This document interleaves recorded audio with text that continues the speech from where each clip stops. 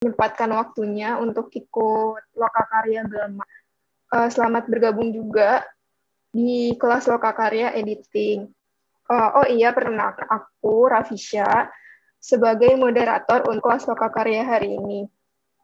Uh, oh iya, sebenarnya teman-teman yang belum on cam, uh, on cam dulu yuk biar kakak-kakaknya, biar kakaknya juga bisa lihat mukanya nih.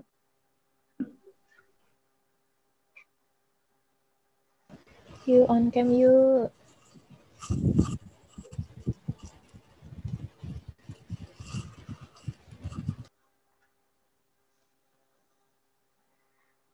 Oh iya, uh, aku mau rawat dulu tuh ngomongnya salah ya. Uh, jadi sekarang itu kak karya uh, poster dan fotografi. Oh, maaf ya. Uh, mungkin sebelum lanjut ke penyampaian materinya, aku hari ini mau kenalin dulu nih cara yang mau isi kelas lokakarya fotografi dan poster ini yaitu Kak Mikael Aldo. Uh, mungkin Kak Mikael Aldo bisa mengenalkan dia sedikit ke teman-teman yang lain. Oke, okay, uh, halo, selamat malam teman-teman semua. Uh, makasih udah diundang lagi ke kelas Dolmap tahun ini. Um, nama saya Mikael Aldo. Saya biasanya dipanggil Aldo um, saya udah terjun di dunia uh, atau industri fotografi sejak kurang lebih empat um, tahun lalu.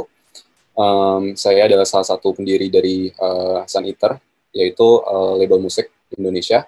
Terus um, saya juga um, currently lagi megang Sun Eater Studio. Kita provide uh, jasa untuk um, memenuhi kebutuhan visual dari brand, dari musician, uh, kemudian dari music label lain. Biasanya kita bikin um, artwork dan um, music artwork dan music video. Nah, um, saya dari uh, komunikasi 2016 kebetulan, jadi tahun ini baru lulus. Um, mungkin udah beberapa kali lewatin Map yang udah-udah sebelumnya. Mungkin saya bisa kasih uh, beberapa gambaran uh, atau insight dari uh, apa yang udah saya alami dan semoga harapannya bisa jadi referensi kalian. Oke, terima kasih Kak Mikael. Uh, peran dirinya. Nah, mungkin karena kita udah kenal juga nih eh, sama kami KLA, uh, eh, bisa langsung ke penyampaian marinya aja, Kak. Silahkan, Kak. Oke. Okay. Ya, sudah kelihatan? Sudah, Kak. Udah, Kak. Yes, saya mulai ya. Um, Ya, jadi um, saya pada kesempatan ini diminta untuk menyampaikan materi mengenai uh, fotografi dan poster, yaitu salah dua dari apa yang akan dikompetisikan um, di Gemap tahun ini. Mungkin uh, berbedanya dari angkatan saya dan atau angkatan sebelumnya adalah bahwa uh, angkatan sebelumnya itu nggak ada uh, mata acara fotografi, dan ini ada uh, satu hal yang baru untuk saya juga, dan uh, mungkin hmm, akan akan apa ya fotografi di sini akan jadi salah satu hal yang akan lebih uh, banyak saya bahas uh, terutama karena dia mengandung unsur self portrait gitu. Nah uh, untuk posternya sendiri mungkin di sini uh, saya akan menyampaikan um, apa lebih ke bagaimana membuat uh, poster yang efektif gitu karena um, ya um, kita pertama akan fokus di fotografi dulu kemudian kita akan ngebahas mengenai uh, bagaimana cara membuat uh, poster yang efektif gitu. Um, saya langsung mulai aja. Jadi um, kurang lebihnya akan ada dua hal besar yang kita bahas malam ini, yaitu pertama adalah fotografi. Kita akan uh, membahas lebih dalam mengenai self portraitnya juga nanti. Kemudian setelah itu saya akan lanjut membahas mengenai uh, cara membuat poster. Uh, mungkin nggak akan terlalu fundamental, tapi lebih ke praktis aja. Gimana caranya kalian translate ide ke uh, eksekusinya nanti. Kemudian saya mungkin ngebahas uh, cara concepting juga yang biasanya saya um, adopsi. Um, baru nanti kayak uh, kita bisa tahu kira-kira output um, output yang akan uh, kita keluarkan itu seperti apa. Nah, um, langsung masuk aja ke pertama-tama fotografi. Itu um, saya mau bagi jadi dua hal besar. Yang pertama um, yang harus kita uh, pahami betul untuk untuk apa ya untuk bisa produce satu karya fotografi itu adalah pertama kita harus get to know our gear kita harus tahu alat-alat yang kita punya apa uh, entah dari body, lens, accessories, bisa tripod, bisa lighting accessories, bisa um, bisa properti yang kita punya, bisa environment yang uh, yang kita yang ada di sekeliling kita gitu. Uh, terus yang kedua adalah um, saya mungkin akan nyinggung sedikit soal basic techniques dari fotografi karena mungkin ada beberapa hal yang um, apa mungkin teman-teman di sini ada yang cuma interest di fotografi, mungkin nggak menekun menekuninya secara profesional. Nah di sini saya mau coba kasih um, apa gambaran besar aja soal dasar-dasar dari teknik fotografi. Beberapanya itu ada um, saya mau coba nanti kasih penjelasan mengenai ISO, uh, speed, aperture, uh, ngebahas lighting sedikit juga, angles, lalu juga komposisi gitu. Nah, um, pertama-tama langsung aja masuk ke ISO. Jadi um, ISO, kalau misalkan kita ini adalah um, sebenarnya ini bagian dari get, getting to know our gear juga ya tadi yang saya bilang di pertama. Um, untuk produce satu karya fotografi nanti yang akan yang akan kalian submit untuk uh, mata lomba fotografi, pasti kalian akan uh, berinteraksi sama alat yang kalian punya. Entah itu um, kameranya DSLR atau entah itu kameranya mirrorless atau entah itu kamera handphone um, pasti mereka punya fitur um, ISO khususnya untuk kamera-kamera yang yang apa ya udah jauh well developed gitu. Nah ISO sebenarnya ada sensitivity to light jadi sensit sensitivitas kamera kita terhadap cahaya gitu. Kalau misalkan angkanya makin kecil maka um, sensitivitasnya makin rendah uh, dalam artian bahwa um, um, apa kayak cahaya yang akan diabsorb oleh kamera itu akan uh, lebih sedikit dan hasil yang diproduksi sama kamera itu akan jauh lebih uh, lebih jelas gitu nggak nggak akan noisy sementara makin besar angka ISO-nya dia akan semakin sensitif sama cahaya dia akan menyerap lebih banyak cahaya dan hasil yang akan diproduksi lebih uh, noisy dan dan kelihatan lebih apa ya sorry lebih um, lebih nggak jernih gitu terus um, yang kedua itu ada aperture. Aperture itu adalah bukaan dari lensa yang kita punya. Kalau misalkan di sini nanti akan ada yang pakai uh, kamera yang uh, kamera dengan detachable lens, yaitu apa lensanya bisa dilepas dari kameranya. Itu biasanya mereka punya setting aperture, uh, pengaturan bukaan dari kameranya, di mana kalau misalkan angkanya makin besar, berarti bukaannya makin kecil. Yang itu yang mana implikasinya adalah nanti hasilnya akan lebih ke yang arah sebelah kiri yaitu narrow aperture hasilnya akan lebih jelas nggak ada yang blur dan ini biasanya dipakai diaplikasikan untuk foto-foto yang um, ya, bisa foto landscape bisa foto uh, suasana atau journalism gitu. sementara untuk wide aperture biasanya lebih ke yang um, apa uh, foto-foto yang uh, fokus ke satu objek aja entah itu orang entah itu objek apa pun um, dia itu adalah artinya bukan besar uh, di mana dia akan jika hasil lensa akan lebih uh, banyak menyerap cahaya dan hasil yang uh, diproduksi oleh uh, setting ini adalah gambarnya akan terlihat depth depthnya atau kedalaman dari gambarnya. Jadi akan ada bagian yang blur dan bagian yang fokus. Terus selanjutnya ada speed. Um, ya sebenarnya cukup netral ya kayak speed kalau misalnya high speed berarti um, makin tinggi angka angka seper di kameranya itu kalau misalnya kita pakai setting manual ya. Um, dia makin tinggi angkanya berarti dia akan cepat mengambil uh, suatu gambar sementara low light um, akan lebih lambat gitu. um. Lanjut uh, lighting bisa lihat ini saya akan compare uh, jadi dua aja. Uh, hard light sama soft light. Misalnya hard light itu lebih ke pencahayaan yang keras um, biasanya dia uh, kalau misalnya mau pakai natural light itu ada di uh, udah di atas jam jam setengah delapan pagi itu sampai jam tiga empat sore. Mungkin kalau kalian mau utilize this kind of light. Kemudian uh, kalau misalkan soft light mungkin lebih ke cahaya-cahaya yang soft. Uh, dia udah misalkan ketutupan pohon atau dia udah udah dia masih maksudnya dia digunakan sebelum matahari itu keluar tinggi gitu. jadi masih di bawah jam setengah delapan atau setelah jam um, setengah lima sore gitu kalau misalkan pakai natural light nah ini sebenarnya bisa diaplikasikan um, kalau misalkan kalian bikin sesuatu karya fotografi entah di dalam rumah atau di luar rumah um, untuk menciptakan efek, suatu efek yang misalkan dramatis gitu kalian bisa pakai yang lebih ke hard light gitu di mana um, uh, bayangan yang akan diproduksi dari hard light ini akan lebih tajam dan jadi lebih menunjukkan uh, feature atau bentuk dari objek yang kalian ambil sementara soft light akan lebih apa ya uh, kesan dari gambar yang dibawakan adalah lebih tone down lebih uh, apa ya lebih lebih uh, kalem gambarnya. Selanjutnya ada settingan white balance juga di uh, kamera-kamera yang um, cukup apa ya cukup konvensional dipakai sekarang mungkin ya. Um, um, saya kategori jadi tiga yaitu ada yang cold gambarnya akan jadi kelihatan lebih dingin. Kemudian ada neutral yaitu um, di mana titik um, apa titik putih dari gambar yang um, mau kalian ambil itu um, apa adalah putih yang sesungguhnya gitu. Terus kemudian um, ada uh, warm light juga. Ini lebih ke warna-warna yang hangat gitu. bisa kalian atur nanti. Terus uh, angle ini mungkin saya agak cepetin aja ya karena um, ya pasti udah pada familiar juga. Ada bird eye angle yang bisa utilize drone. Di sini mungkin ada high angle high level angle low angle sama bird eye angle. Mungkin um, saya lebih ke ngasih um, apa ya gambaran untuk implikasi dari masing-masing angle ini kali ya. Kayak kalau misalkan kalian pakai pakai high angle berarti uh, implikasi ke gambar yang akan kalian bikin nanti adalah gambarnya akan kelihatan lebih kecil gitu. Jadi lebih apa ya seakan-akan kalian ngajak audiens dari foto kalian itu melihat sesuatu yang uh, apa ya lebih kecil dari dari mereka gitu loh.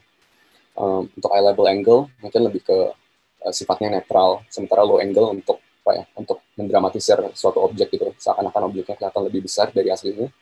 Kemudian for high angle lebih ke um, apa ya lebih ke penggambaran sesuatu yang sifatnya grounded yang yang um, humble. Seakan-akan dia itu menyatu dengan dataran.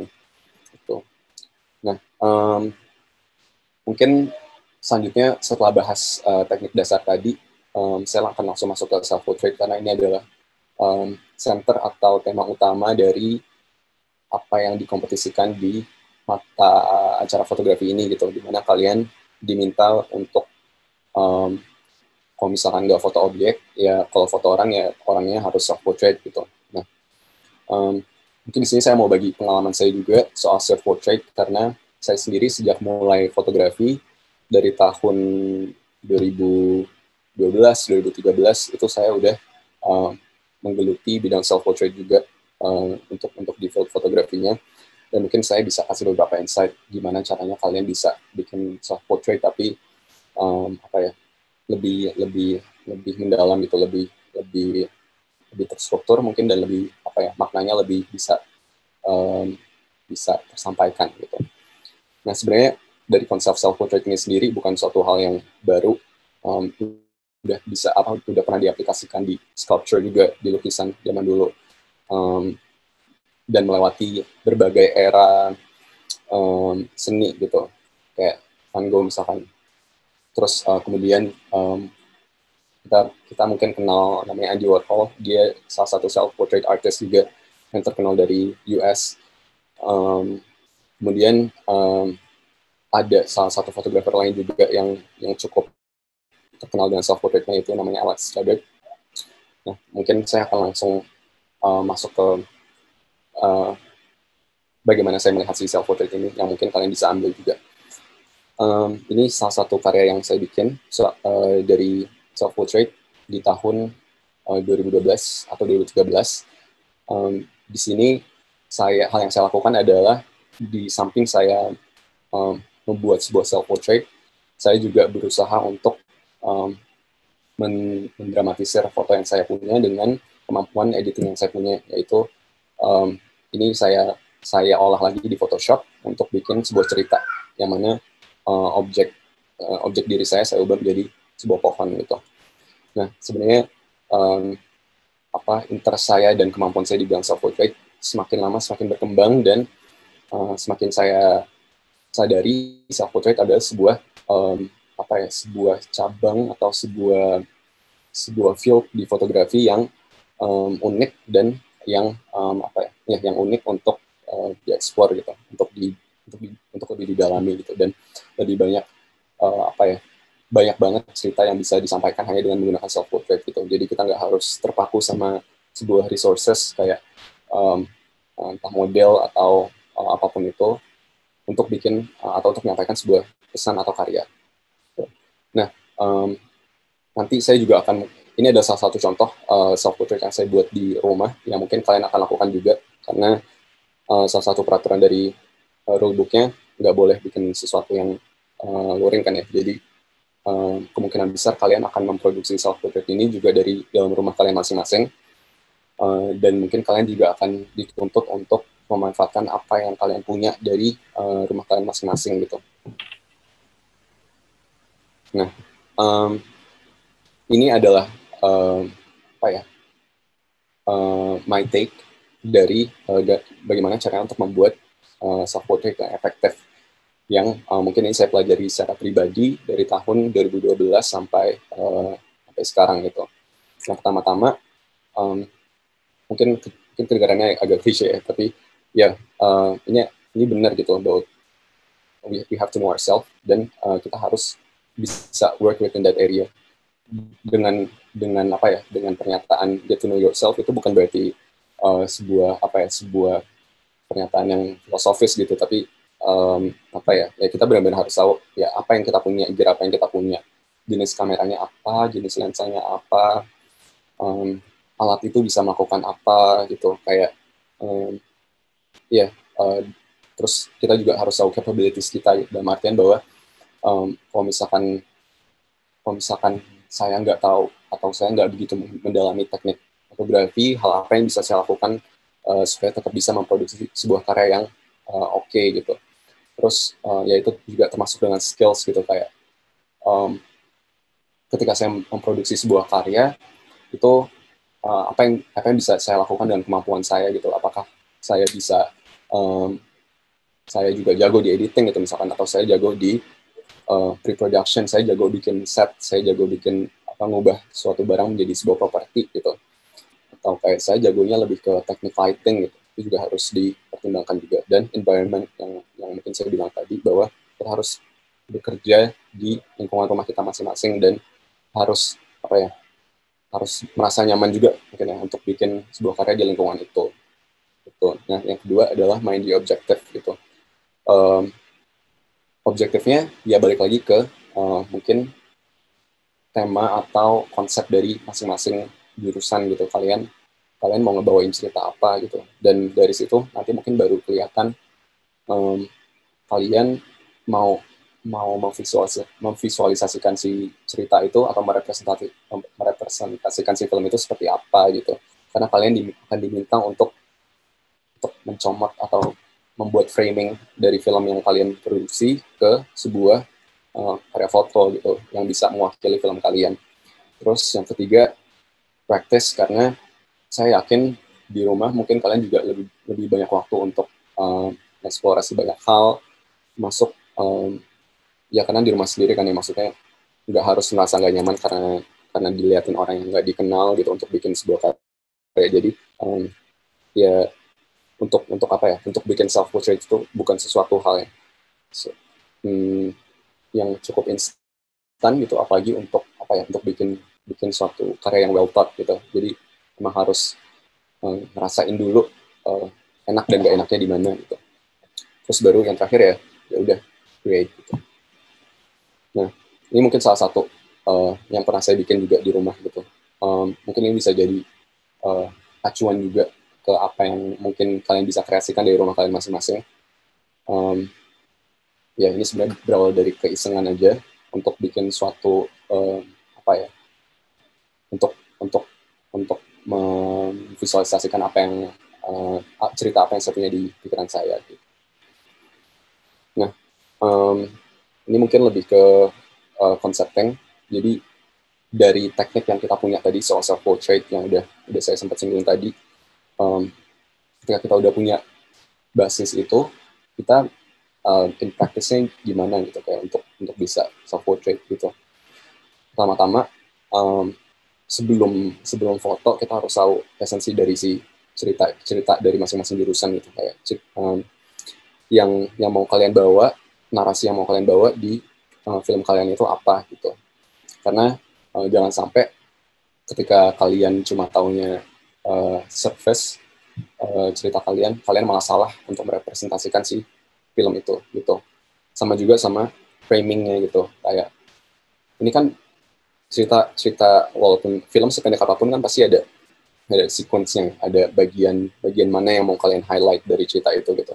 Dan itu juga harus hati-hati juga kalian mau comot bagian mana dari cerita kalian supaya ketika orang melihat uh, hasil kalian fotografi atau entah itu poster juga ya ini juga berlaku untuk si poster nanti itu orang nggak akan misinterpret atau orang nggak akan salah um, apa ya misalkan ceritanya adalah tentang uh, uh, murder gitu atau pembunuhan. Tapi uh, foto yang kalian tunjukkan itu sama sekali nggak ada relevansinya dengan pembunuhan gitu. Itu kan bisa bisa jadi apa ya salah satu pertimbangan kalian juga gitu. Jadi um, harus tahu bagian dari mana bagian dari cerita itu yang mau kalian frame. Terus abis itu selanjutnya adalah pay attention to symbols icon representations. Jadi um, sering banget di sebuah karya fotografi nggak harus self portrait um, dan poster juga yang um, memanfaatkan icon atau simbol untuk um, apa ya untuk mempermudah penyampaian uh, pesan dari cerita mereka gitu. Misalkan kalau misalkan ceritanya yang mau disampaikan adalah murder dan simbol yang dipakai adalah darah dan um, itu adalah sebuah apa ya, ya hal yang hal yang normal hal, hal yang wajar gitu. Jadi um, pay attention to simbol apa yang nanti mau kalian pakai di cerita kita. Jangan jangan sampai apa ya jangan sampai salah. Um, salah salah uh, untuk untuk apa ya dalam dalam simbolisasi cerita kalian gitu. Terus abis itu find references ini mungkin kalian bisa apa ya bisa cari referensi dari entah seniman yang kalian suka gitu yang gayanya kalian suka yang bisa uh, dengan apa ya uh, yang cocok mungkin moodnya sama ya sama film yang mau kalian buat gitu. Karena ini pada akhirnya ngebantu banget untuk apa ya untuk untuk hmm, visualisasikan sebelum kalian eksekusi gitu. Ketika kalian udah ada gambaran misalkan uh, oh nanti dengan karya fotografi ini misalkan gue maunya pose gue sebagai self portrait artisnya itu dengan pose ABCDE gitu. Kemudian dengan uh, latar ruangannya tuh ABCDE gitu terus kemudian baju yang dipakai itu ada referensinya juga nih gue nyumat dari Pinterest misalkan jadi uh, um, sebuah hal yang yang apa ya yang yang yang bisa kalian aplikasikan untuk manage waktu kalian juga kali ya supaya nggak kalian nggak banyak-banyak buang waktu um, dan karya yang akan diproduksi lebih lebih terfokus gitu nanti. Terus uh, yang terakhir ya build a contextualized concept dalam artian bahwa yang kalian punya tadi itu kalian internalize dan ya kalian bikin versi kalian sendiri gitu. Karena ya um, ya kita nggak mau sampai plagiarize juga kan. Jadi harus uh, di dikontekstualisasikan sama uh, cerita kita karena pasti juga beda sama sama karya yang udah ada sebelumnya sama sama film kalian gitu. Nah, um, mungkin lanjut aja saya ngebahas soal poster gitu. Um, kalau misalkan tadi kita spesifik ngomongin ke medium fotografi dan sementara poster itu mungkin lebih apa yang lebih luas dari fotografi, kita bisa manfaatin medium lain kayak ilustrasi, terus um, graphic design, uh, seni lukis, um, ya pokoknya nggak nggak harus ada di dalam kotak fotografi itu. Um, keep in mind untuk pertama make the title clear easily recognizable and readable gitu. Nanti mungkin saya di belakang ada beberapa contoh yang mungkin uh, ah ini apa sih uh, judul dari si um, apa si filmnya gitu uh, nggak kurang kebaca gitu nah, ini juga berkenaan sama nanti audiens dari film kalian gitu apakah audiensnya uh, akan paham sama sama font yang kalian pakai sama tulisan tangan kalian gitu Um, terus yang kedua adalah jangan pakai teks yang terlalu banyak gitu. Ini by the way yang di sebelah kiri saya ngambil contoh dari salah satu film yang uh, Center Studio bikin uh, selama pandemi kemarin juga uh, rilis di bulan Juli kemarin. Ini adalah poster yang uh, kita pakai gitu. Di sini emang uh, kelihatan kalau misalkan kita trace back ke slide yang sebelumnya, kalau misalkan poster ini tuh menggunakan hmm, apa icon icon icon angka gitu satu dua tiga karena ya emang judulnya hari ke satu dua tiga gitu terus um, jangan pakai too much text karena uh, orang akan bingung hmm, untuk apa ya ya tujuan poster kan untuk untuk menginformasikan hal yang perlu ya untuk untuk untuk audiens ketahui Halo, um, selamat malam semuanya. Selamat malam juga, Mas. Ya, ya selamat malam. Ya, um, saya lanjutkan ya. Um, terus um, yang ketiga adalah kita harus pakai sufficient amount of information is give um, ya kita harus pakai sufficient amount of information dalam artian bahwa jangan sampai information yang nggak perlu itu um, malah kita pakai. Misalkan kayak ada logo yang nggak penting atau logo yang nggak relevan tapi kalian taruh di situ. Uh, nanti saya mungkin ada beberapa contoh juga gitu. Terus amount of information dalam hal ini um, mungkin lebih gampangnya bisa kita uh, refer back ke 5W1H gitu. Jadi um, misalkan kuatnya adalah kayak film ini tuh ngomongin apa gitu. Terus where-nya misalkan latar dari film ini tuh apa gitu, kayak apakah uh, sebuah sebuah uh, sebuah daerah atau wilayah yang apokaliptik gitu, um, atau kayak misalkan ya di rumah aja gitu. Terus habis itu when-nya adalah kayak um, kalian bisa memanfaatkan entah styling, entah texture dari poster kalian untuk untuk enhance atau meningkatkan um, um, apa ya meningkatkan vibe atau styling dari si poster itu gitu. Dan artian bahwa misalkan um, film kalian take place di tahun misalkan uh, 1900-an gitu. Terus yang kalian lakukan dengan poster kalian adalah kalian pakai tekstur foto tua gitu. Um, ya itu itu salah satu contoh gitu. Terus um, how-nya misalkan adalah kayak uh, si film ini nanti akan ditayangkannya di mana sih? Kayak apakah nanti lewat YouTube, apakah nanti lewat uh, kanal media lain gitu. Yang jelas uh, kalian bisa dan when-nya juga sorry uh, bisa kalian taruh kayak nanti si film ini tuh akan akan ditayanginnya kapan gitu. Terus uh, ya how-nya tadi adalah kayak hmm, nanti film ini akan ditayangkannya di mana lewat lewat kanal apa itu bisa kalian taruh informasinya di poster kalian nanti gitu. Terus yang poin keempat adalah have consistent layout and style dalam artian bahwa kalau misalkan tadi nyambung ke contoh yang kalian mau bikin uh, suasana tahun 1900-an gitu dan kalian pakai tekstur foto tua, jangan sampai uh, malah nanti font yang kalian pakai adalah font yang futuristic atau sci-fi gitu, dan itu jadi nggak konsisten. Terus um, um, use colors, shapes, and symbols effectively. Um, ya udah cukup jelas mungkin saya rasa. Dan yang terakhir capture the essence of the, the film story. Ini sama sama bagian concepting yang saya jelasin tadi, um, kita harus uh, paham dulu sama esensi dari cerita kita, gitu, supaya audiens kita nggak nggak apa ya nggak salah interpretasi gitu, film kita tentang apa. Nah, ini mungkin beberapa contoh dari uh, apa ya poster yang memanfaatkan medium fotografi, ada yang juga yang memanfaatkan uh, seni kolase juga. Um, ini mungkin beberapa contoh um, poster dengan informasi yang cukup atau sufficient gitu menurut saya. Jadi di dunia ada gitu. Kemudian uh, who-nya juga, sorry tadi kelihatan siapa yang bikin filmnya gitu. Entah misalkan uh, dari sos atau dari antrop, dari kom, gitu. kalian bisa bisa taruh juga di situ. Terus um, kayak kapannya juga bisa kalian taruh kapan tanggal rilisnya nanti filmnya.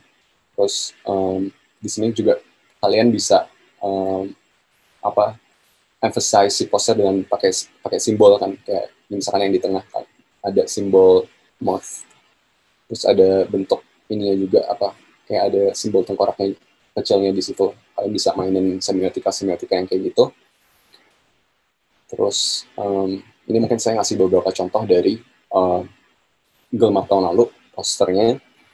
Um, dan mungkin kita bisa coba sama-sama lihat dan apa ya ya mungkin kalian semua juga udah lihat punya jurusan masing-masing gitu. Dan mungkin kita bisa lihat apakah menurut kalian poster ini tuh udah cukup efektif atau belum gitu untuk untuk um, apa yang jadi referensi kalian juga um, ini kalau misalnya saya boleh uh, komentar dari uh, poster yang dibikin sama Tom tahun tahun hmm, tahun lalu ini uh, hal yang mungkin saya note saya catat di poster ini adalah kayak di bawah bagian pojok kiri bawah itu ada um, ada logo copyright gitu. Tapi um, mungkin yang agak saya pertanyakan di sini adalah um, kenapa logo copyright itu ada di situ dan nggak ada um, informasi. Um, maksudnya kayak apakah itu cara penggunaan logo copyright yang benar? Gitu. Jadi hal-hal um, yang kayak gini mungkin cukup apa ya cukup cukup jadi penting juga ya mungkin untuk kalian pertimbangkan gitu.